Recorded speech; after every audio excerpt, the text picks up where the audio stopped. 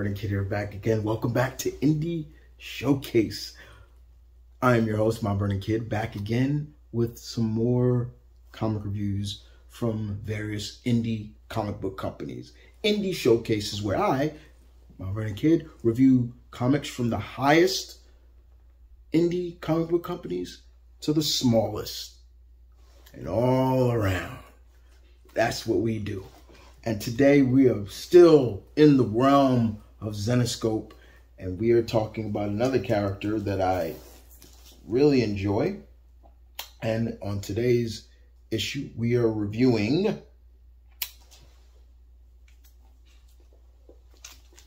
can't really get the, get the glare. We're reviewing Van Helsing, Beast of Exmoor. Uh, this is written by, I want to make sure I get the name. Uh, this is written by Brian Hawkins. Brian Hawkins does the uh, writing, and the artwork is done by Alan Otero. Really good. Van Helsing, of course, she is the descendant of the legendary Van Helsing and she is the resident monster hunter of uh, the Zenescope universe. And in this, uh, she takes a case. She takes a. Uh, Leslie takes a a job in.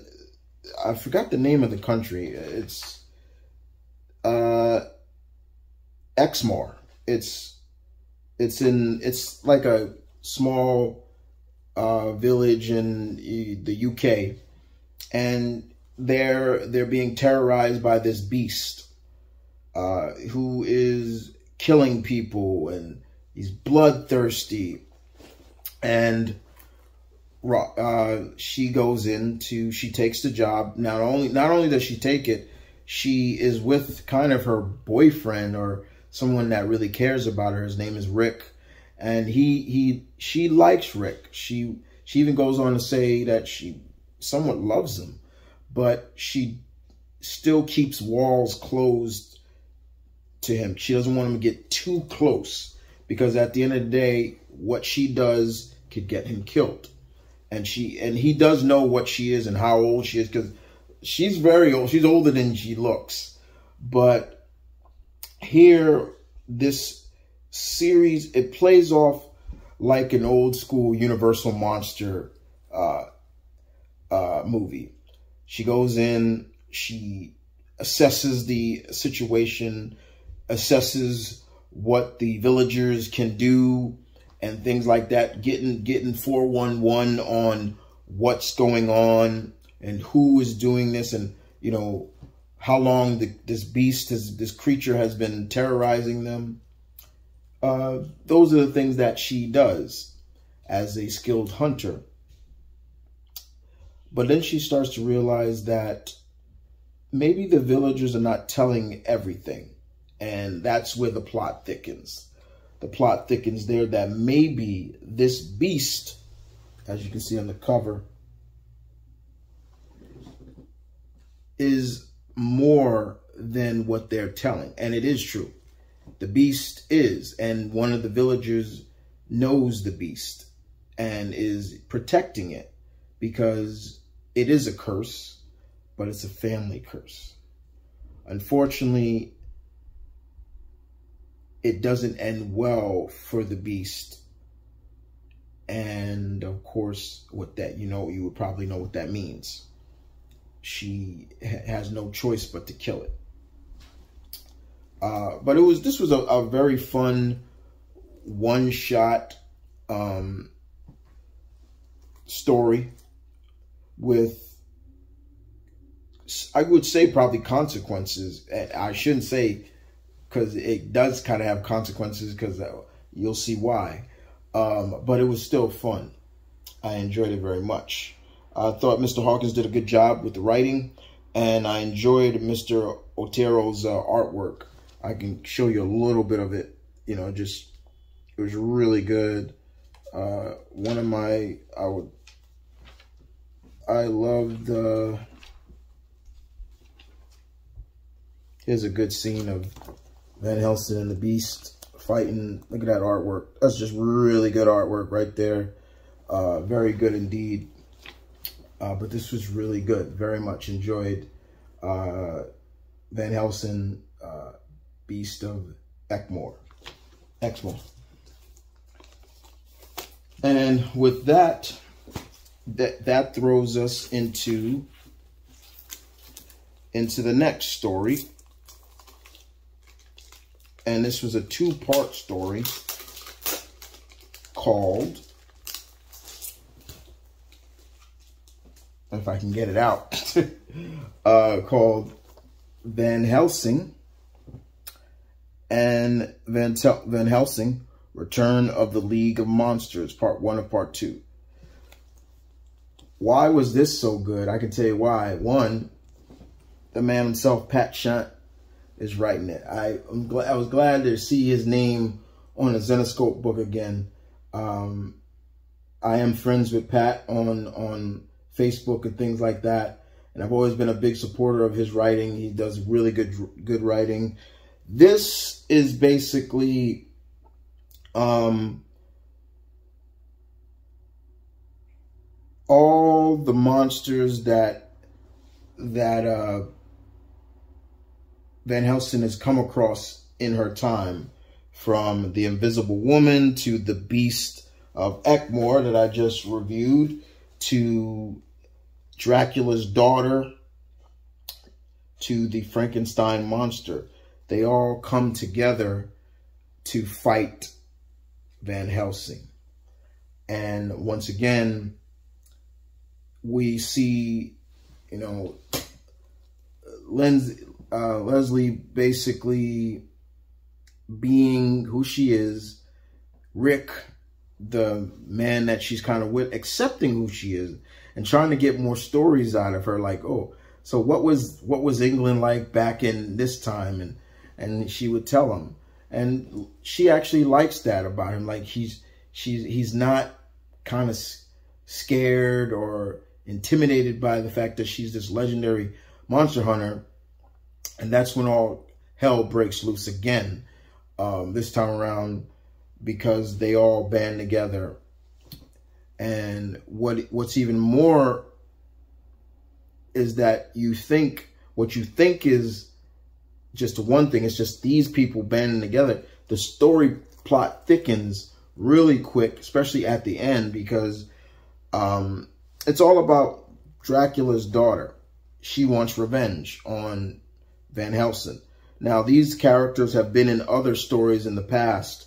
So if you've never read any of Van Helsing's uh, stories, then I suggest you go to Zenescope.com or wherever you get your books and try to find these. Some of them are in trades and things like that. Like, like I said, Van Helsing versus uh, the Invisible Woman and things like that. It's the Invisible Woman. It's not the Invisible Man in this. But uh, something bad happens to Rick. Something seriously bad happens to Rick. And Van Helsing blames herself for that. Uh, and that leads us into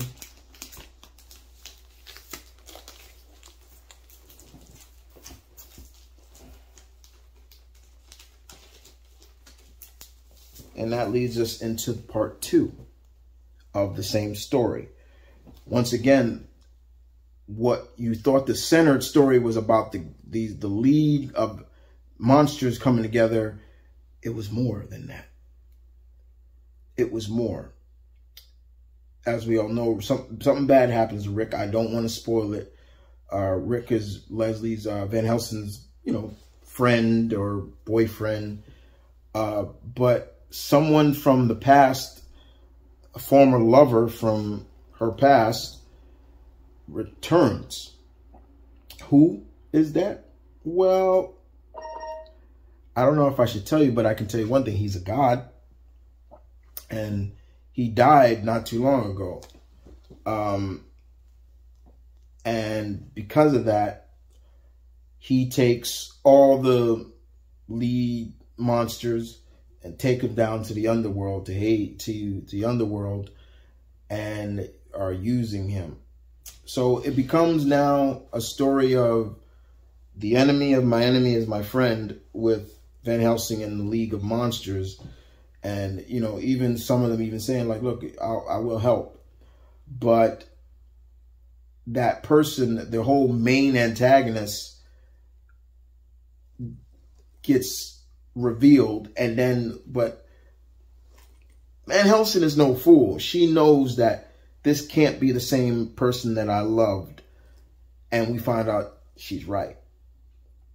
And unfortunately, she has to do the one thing that she didn't want to do, you know, because of this person. Well, I can reveal it. I guess I should reveal who this god is. Hades.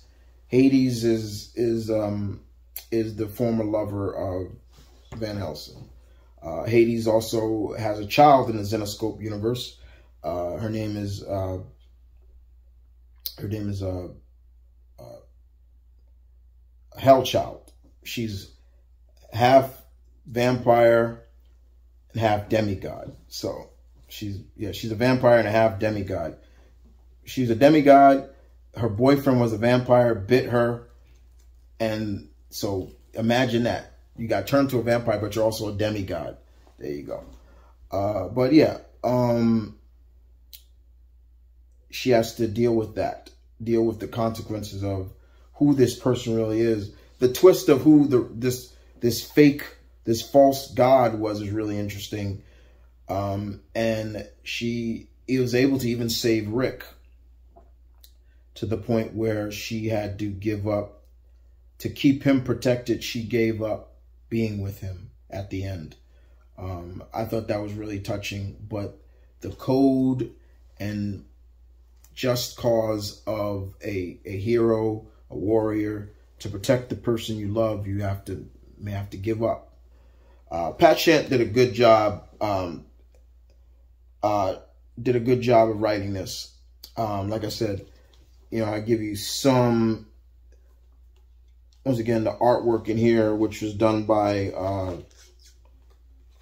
I want to make sure I get the art name right.